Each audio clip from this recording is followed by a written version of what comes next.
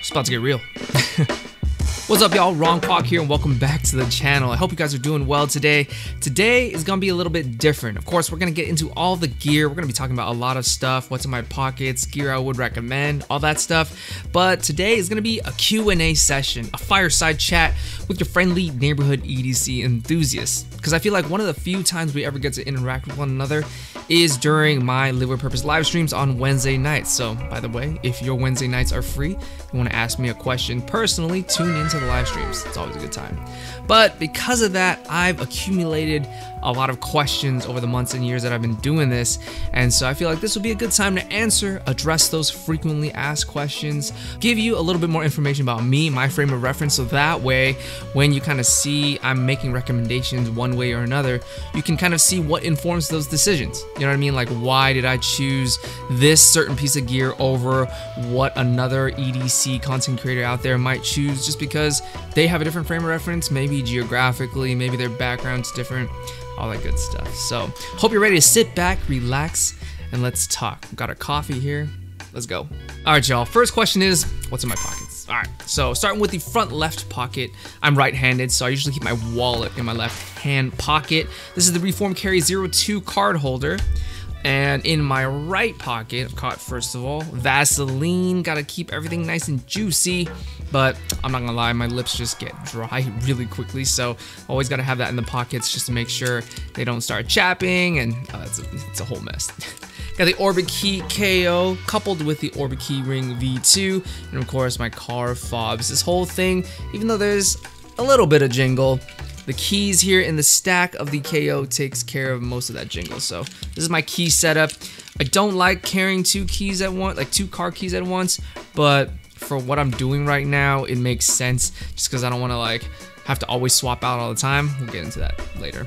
Of course, cutlery. This is the Glow Rhino Fermi. It is a $100 D2 flipper knife with a lot of tritium loaded in there. I don't know why I pointed to that pocket clip, it's not tritium. There's two big blocks of tritium on either side of the knife as well as incorporated here in the thumb stud.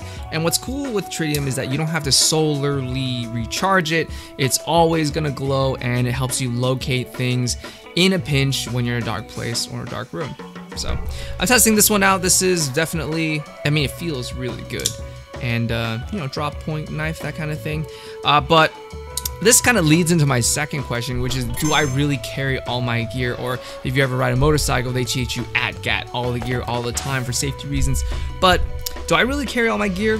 Uh, the answer is no. Bruh. The answer is really no. Um, I've been caught out a few times where you know someone asked me for a knife or asked me for a pry bar, um, namely my wife, and um, I won't have I wouldn't have it in my pockets or something because I just you know forgot or things came up I didn't have it. So shame on me. EDC creator it doesn't have all that ready all the time but honestly like I feel like yes, it's a good habit to be prepared all the time, but at the same time, like sometimes you don't have the bandwidth for all that stuff. Like if you're trying to get out the door because you're late already to an event, yes, you could say you need to prepare better and all that. But when you got a lot of moving parts, you got a toddler, you got things going on, this and that, you just grab your bag and go. Sometimes it slips your mind, you know what I mean? You want to make sure you have your car keys, your wallet, and your phone. And so, you know, sometimes I don't always have a knife with me, and that's something I need to work on.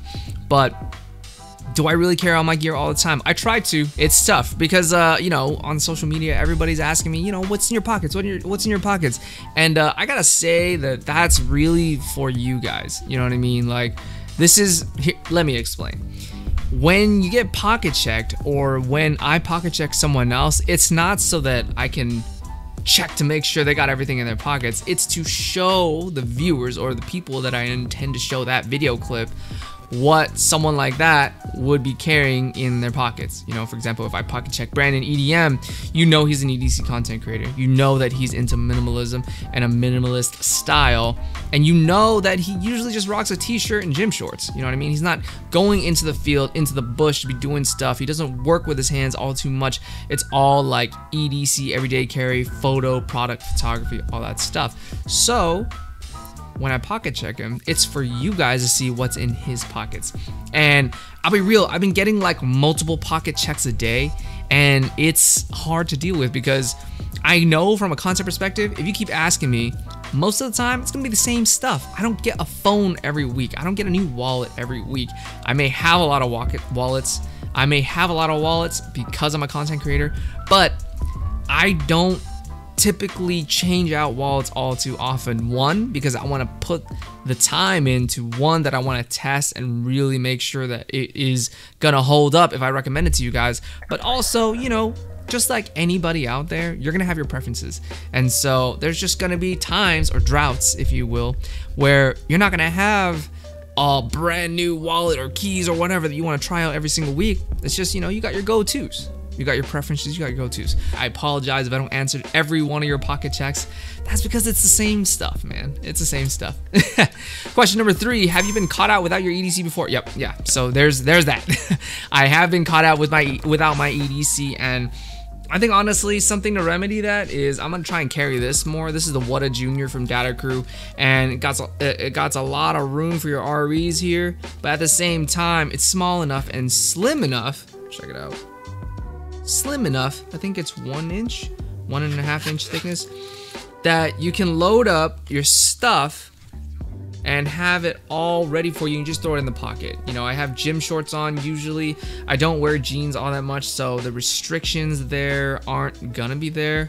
And so I can just throw this into my right pocket, and if anyone needs anything, then I can just go ahead and reach in here and pull out whatever needs to be pulled out. And I think that's probably a good idea going forward. Because then, in my mind, I don't gotta be like, okay, I gotta go out, time to load out. What's my pry gonna be? What's my knife gonna be? What's my multi-tool gonna be? I just keep everything in here. Maybe I'll make a knife selection because I like to at least rotate my knives out daily. Because nine times out of ten, I'm not even using it. And then when I do use it, it's to open a package or something light.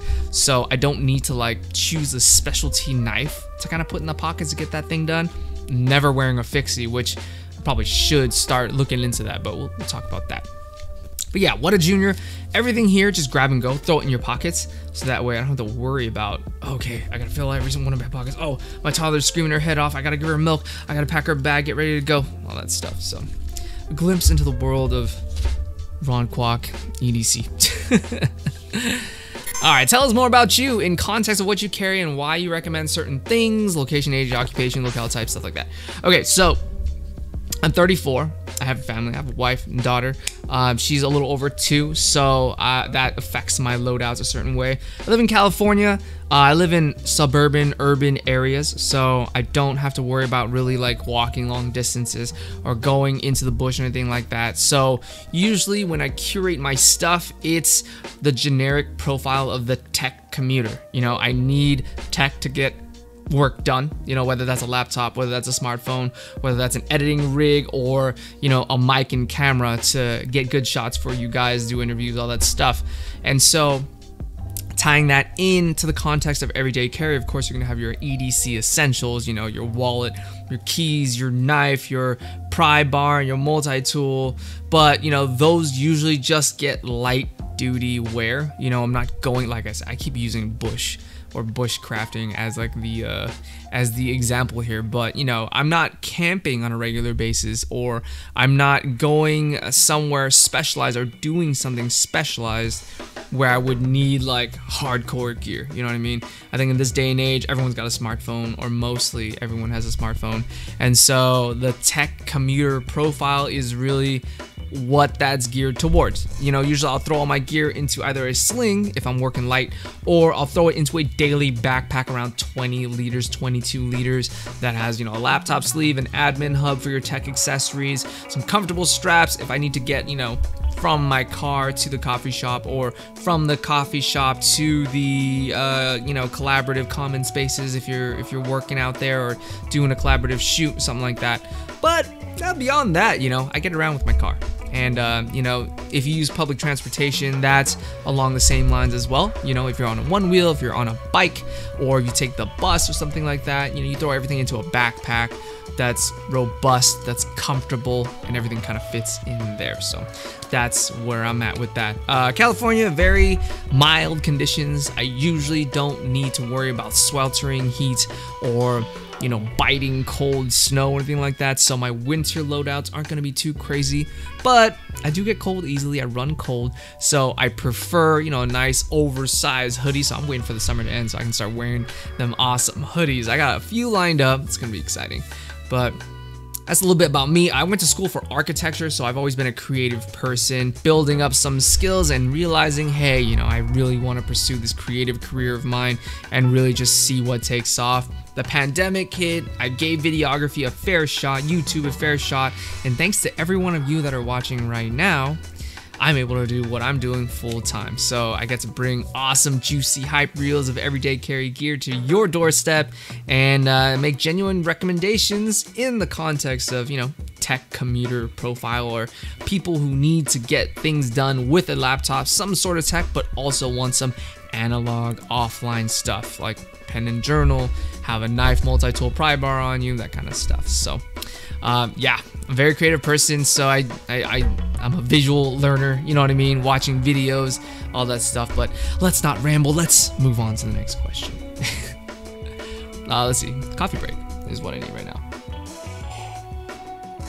Uh, what are your hobbies? Uh, right now, I'm really into golf. That's the biggest thing. I think that's another result of the pandemic. I think we just get bored and locked down to the point where you just want to go out and do something. So I think golf was the go-to for a lot of people. I heard there was a big club shortage during the pandemic because everyone was buying up clubs, and uh, yeah, it's it's an easy way to chill with your buddies, go out for a, a round of 18 holes of golf, and uh, be out in the wilderness. I mean, yeah, it's groomed and, and curated and all that stuff, but it's fun. It's a good time. Uh, working on my swing, dude. I went to I went to Lake Tahoe uh, a few weekends ago uh, for a buddy's 30th birthday, and he had a great time. We had a good time, but it was a golfing trip because we all in it. And uh, the one weekend we go up there, it just poured. It was raining. There was a thunderstorm warning, all that stuff. So uh, yeah. Anyway, that was fun. I scored okay for my for my abilities. But oh man, uh, after I came back, I completely forgot how to swing. I completely forgot how to play golf. I had to really rebuild my swing from the ground up. So uh, we'll see. We're playing again soon. Um, I'll let you know how that goes. But yeah, golf. Other hobbies include snowboarding, which I went last season. I haven't gone in a while before that though, but grew up snowboarding, love snowboarding whenever I can get in the snow. Mechanical keyboards are a thing for me. Uh, I'm in the process of building one right now, like with solder and custom, you know, like hot swappability, all that stuff. So um, stay tuned. You know, the, the setup's gonna look a little different. You've seen the keyboard I have. It's the Drop Alt and it's a 65% keyboard but the one I'm building is a little smaller so we'll see we'll see how that works out I edit and stuff too so I'm building this for funsies but also you know if it's not optimal for like editing and and pressing all the buttons, all the hotkeys I need. I'm a big hotkey nerd. I really need to make sure I am efficient when I'm editing and I don't like clicking here, clicking here, clicking here. Like I gotta learn my hotkeys. So if it's not, you know, efficient, I'm probably gonna end up with a bigger keyboard, but we'll see. We'll see, we'll see. Am I going to Blade West? Hell yeah, I am. Hell yeah, I am. For all you guys going to Blade West 2023, I'll see you guys October 13th on the show floor. Uh, it's gonna be fun. It's gonna be fun. Um, Brandon EDM, that's his home turf. So those are his stomping grounds. So we're gonna go out there uh, probably a day early and stay a day late, but it's gonna be a good time. Hanging out with the homies.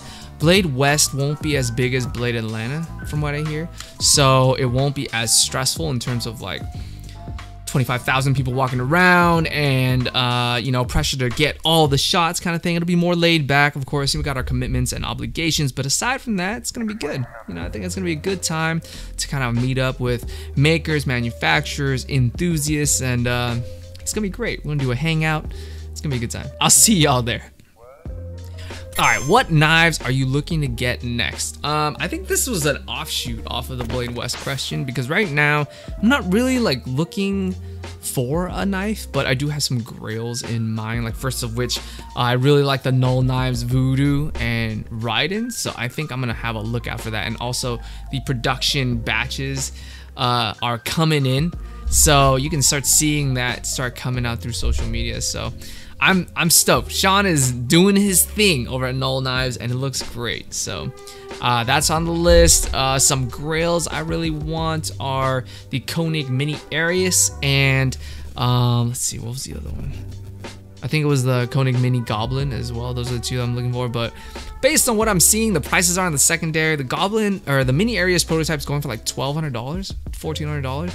And the Mini Goblin, I think, is going for something similar, like at $1,000 on the secondary. So I think table price is gonna be 700. I think. I think that's that's what I'm seeing. But we'll see. We'll see. I mean, I have an open mind. Um, I'll prepare a budget, but I'm not like set in stone kind of thing. If it's not there, I'm not gonna be disappointed. You know what I mean? Uh, other than that, I don't have a Benchmade yet, so I'm looking into the Benchmade Bailout. I think that's a solid knife. I also think the Benchmade Full Immunity, it's a, it's a smaller one, but I really love the look, and I feel like it'd be pretty nimble, especially in like an EDC pouch, kind of put in your pocket kind of thing. Uh, so those are those are the ones I'm looking at right now. Those are the ones I'm looking at. We'll see. We'll see. Uh, all right. Uh, what gear are you looking to get next? What gear are you looking to get next? Um, I think the next thing I'm gonna be getting is probably to add to my filming setup you know, and I think that's one of the questions here. So we'll talk about that later. But I think right now, in terms of gear, I'm pretty set just because as far as like EDC content creation goes, um, you are fortunate enough to be able to sample a lot of different types of gear. And so I've come a long way from like, you know, just reviewing the things I have around me that I bought myself and just shooting video of it to now having brands send out samples for me to try and talk about if I so choose uh, to full-on commercial projects where them sending out their products is a given and I'm I'm producing stuff for them in the form of like hype reels, stuff like that. So needless to say, I got a ton of gear. My lady's really pissed off at me all the time because storage is a factor. Storage is is an issue. You know what I mean? I only have this one room and it's starting to spill out to other parts of the house. So I got to keep that in check. So as far as gear goes, nothing in terms of everyday carry unless something really strikes me as like really awesome that I want to try further. I think the next thing is to probably improve my shooting setup. Either add more practical lighting or uh, build out my rig in such a way where you know a little attention to detail things start to uh, start to disappear. You know what I mean? Like, like uh, for example, if I mount my if I mount my top down angle of my camera to the table on which I am doing stuff, if I shake the table, it's gonna it's gonna shake the camera. So I might set up like an independent rig that's sitting on the floor. That way, whatever I'm doing on this table, you know, banging on gear, testing things out, breaking things, it's not gonna affect the camera and stuff like that. I think that's he probably won't notice one way or another, but uh, it's perfectionist stuff, you know what I mean? Always strive to be better, always strive to learn more, you know what I'm saying? Um, next question, do I play video games? Yes, I do. In fact, um, I'm actually starting to dabble again just because um, I have a love-hate relationship with video games because I really like the challenge, and so once I get started in one, I really want to like knock out the next milestone, knock out the next milestone, and so I get sucked into it. And before you know it, I've spent 12 hours in front of the PC like, gaming, trying to get the next rank or the next tier. So you know, I've had to like quit cold turkey a couple times and just kind of uninstall and put them away. But I think I've reached this like healthy balance of being able to like crank out the work, but also still take you know take breaks and play games and all that stuff. And between golf and and dabbling here and there that's fine. You know what i mean? I'm playing apex legends on the pc by the way. I'm not a console dude. I don't have xbox. I don't have playstation. Although i grew up a playstation guy. Started with playstation 1 final fantasy 7 was my first game. And uh, love role-playing games rpgs but I also am currently just gaming on my PC. You know, I'm playing um, Apex Legends on Steam, Miso One Up. So if you see me in Apex Legends, that's me. And um, other than that, I think that's really it. Apex, I, I played League for a long time, but League just takes so much time.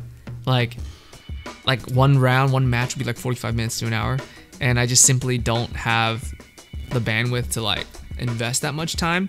And when I do, it's far and in between. So I'll suck bad. You know what I mean? And that'll make me want to improve and that'll make me sink more time into it. And then it's a vicious cycle. So I just need a game that I can like be satisfied with my abilities and, uh, you know, pick up a game or two, a round or two, and just play and then be done. You know, be like, cut it, get back to work kind of thing. So that's me in video gaming. I hope you guys have a better uh, relationship with video gaming than I do because it's not the best. um, what do you or how do you film your content? Uh, a lot of ways, a lot of ways. Um, long form is like this. I have an angle on my desk. This is me talking. This is also my live stream setup and angle. So if you watch my live streams, this will be very familiar to you. And um, honestly, the live stream angle ha has inspired this video, just because like I feel like live streams are really where I can have a candid conversation with y'all, and to be able to do this with a Q and A, with a Q and A, I think it, you know it's it's uh comfortable. It it feels right. but um, yeah, long form stuff, I'll do this. I have a B-roll studio table over there where I film all of my slow-mo stuff, studio shots, and uh, my top-down unboxings or feature breakdowns. I'll do all that over at that table, and that's the table I have. You know, my overhead rig where I'll attach this camera over there. Uh, to save time, uh, I've upgraded from one like key light to two now. So I got one over there, one over here. I don't have to pick up the whole C stand, move it over, and drop it down. I used to do that, and um, I, it was cool for a time, but I think after a while I just couldn't I couldn't deal with it anymore. So I had to like upgrade the setup. Um, aside from that, you know, I'll vlog outside with a one wheel uh, and just kind of walk around, do my thing. I'm usually holding my camera with the Mantis pods. I'll have that there, but you know, 50% of the time, I don't even use the pod. Just because if you're holding it from the bottom, and if your camera is heavier than than the bulkiness of the pod, it feels off balance. So I just hold it, I just undersling it right here. I just hold it underneath the body. And then, what's up y'all? You know, use a wide angle, 20 meters, 20 meters, 20 millimeters.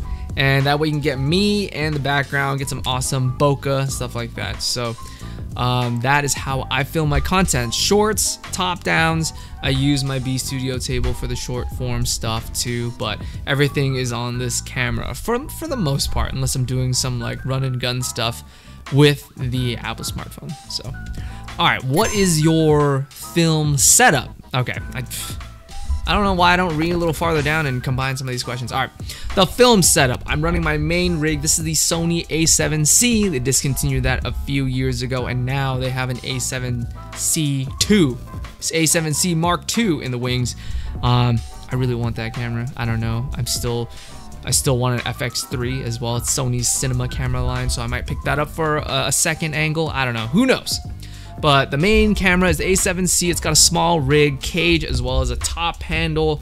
Um, I've got the Falcam F22 uh, mounting system. So there are a bunch of like female male connectors that I put at the bottom or at the yeah at the bottom of every single piece of my gear. So whenever I need to mount it to a mount or mount it to a tripod it's all using the same setup. So it's click in click out. I don't have to screw in anything. I don't have to like you know mess around with a bunch of uh, quarter 20s or anything like that. It's very it's very fast and fluid.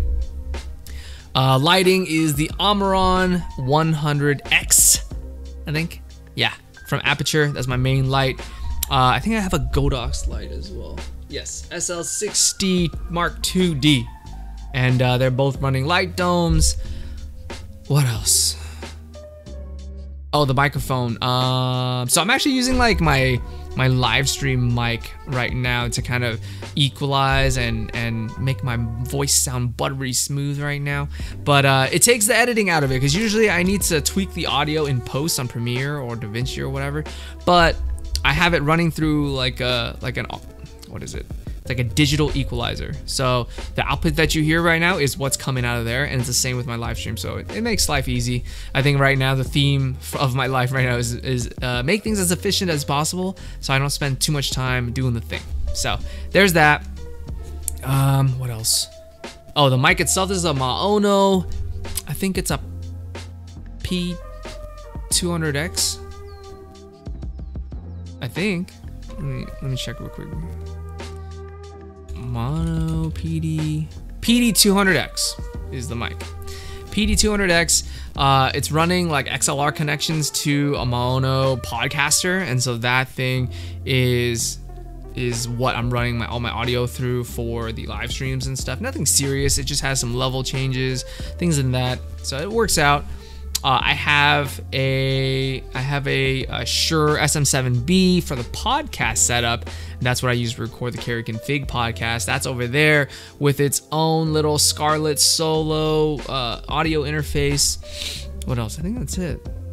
And then all the accessories that comes with uh, doing this for a long time, like things that accumulate. You know what I mean? I've got extra batteries, I've got accessories like crazy, extra wires, extra ca cables. I'm using the um, I'm using the DJI mic system, so that's been really helpful for on-the-go shooting and just to having my mic on me and and away from the camera if I need to get wider shots. I'm just not near the camera, stuff like that.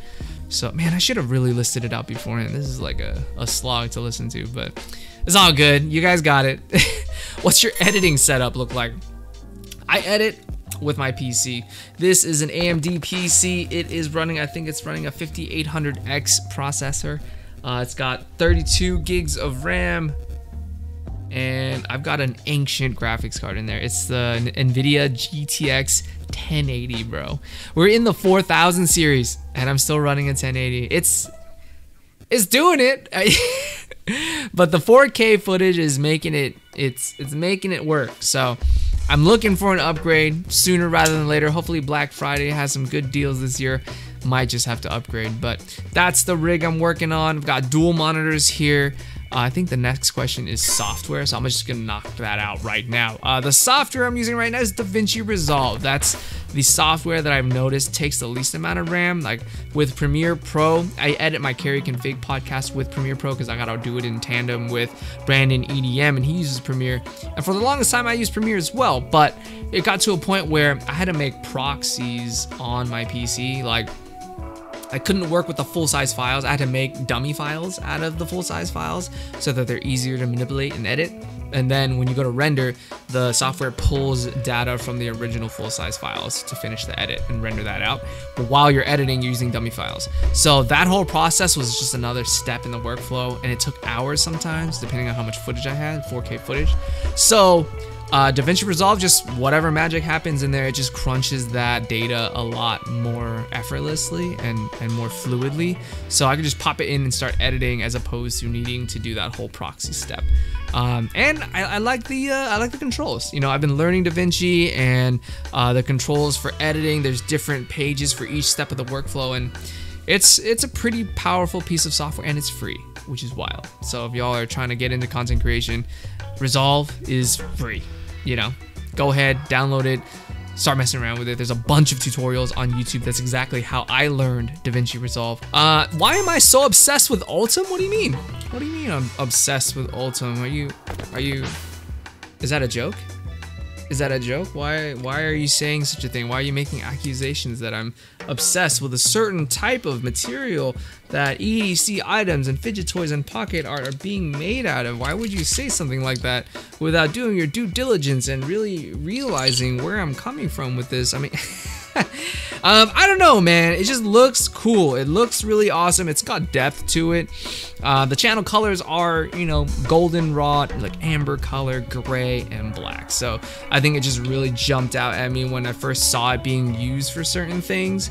And I don't know, man. It just looks great. And, you know, once you dive deeper into the material, you learn that it is functional. It's a thermoplastic that's super resistant to high temperatures. So for like the medical industry, when things have to constantly be sanitized, steamed, this and that, it has great functionality.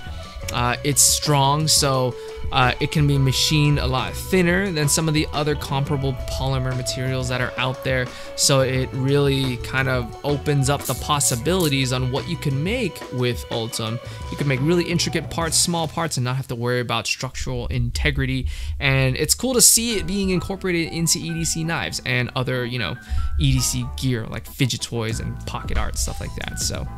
But at the end of the day, man, I just love how it looks.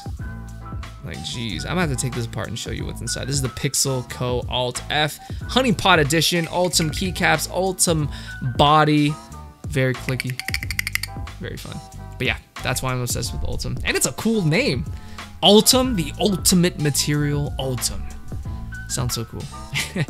How much gear do you get as a content creator? A lot. Oh boy, a lot. Cause like, the expectation is like, I mean, it just depends on who you're talking to and what kind of brands are asking you for things. Um, it can range from brands who are looking to get a piece of product reviewed. So they'll send it out to you to keep, you give them your first thoughts and post a video about it. Other times it's more open ended. It's just like, hey, check this out. Let me know what you think. And you kind of have to trust the process as a brand. Like, you know, stand by your product. If it's a good product, which you're confident that it is, they're to like it. They're to post about it. And it's more organic that way. And it kind of goes through. And then finally, there's commercial projects as well. You know, I'm doing this full time. So I gotta be able to feed the children. I gotta be able to put food on the table, keep the roof over my head, and, and carry my weight. You know what I mean? So there are gonna be commercial projects that I wanna be a part of that I end up signing on to. And products are just part of the bargain. You know what I mean? Like they gotta send you stuff for you to take photos of and take video of. And at the end of the day, it accumulates a lot. We just got a huge shipment. Um, it's a lot of uh, storage that I'll be implementing into the office, the home studio, and I'm stoked to be able to do that because I have too much stuff everywhere. it's a mess. It's a mess. You come in here and you think it's you'll think it's a storage unit in a lot somewhere because there's so much crap here. But uh, I'm doing my best. I do want to pick up a Husky like workbench kind of put it behind this table right here because that would be the perfect area. It'll be facing the B-roll area where I can just pull out all my gear. You know, all the watches will be there. All the knives will be in another drawer. All the wallets will be in another drawer. And I think it'll it'll it'll shake out nicely. So, uh, looking forward to that. Uh, let's see. How did you decide to be a content creator? I think, like I said earlier, I've just always been a creative person, and I think the pandemic there was a silver lining in that experience that we were all a part of as as a as a world, as a globe. Um, that you know everyone was locked down for the sake of safety, and because of that, you kind of get creative with how you want to spend your time and how you want to, you know, make life interesting because everyone's locked down, everyone's trapped inside. So I always wanted to get in front of the camera. I always wanted to see if, you know, shooting video was something I would like or be passionate about. And so come lockdown time, I was like, all right, well, I'm not doing anything. Might as well get out there and do some stuff. And lo and behold, I had fun. It was a good time. And at that time, I just had my smartphone. I think I had a really old Canon Rebel from Costco. I think it was like a bundle deal. And, um, you know, I started shooting with that, got excited, started shooting some more, and then started learning the editing software, the photos, the video, started posting. My first video was ass, and uh, I love every second of it.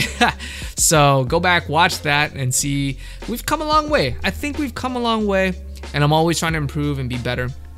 So I think when the views started coming, the subscribers like you yourself, if you haven't subscribed and you like everyday carry content, make sure you gently tap that subscribe button and join in on all the fun. Notifications on.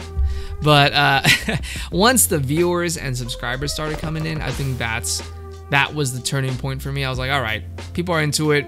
Let's keep going. Let's be consistent. Let's grow.